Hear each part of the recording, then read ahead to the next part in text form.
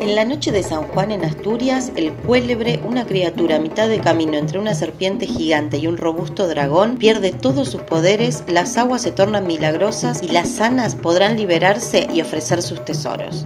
A las cero horas se queman les fogueres y se finaliza con la danza prima alrededor de ella. El fuego se llevará todo lo malo y traerá todo lo bueno.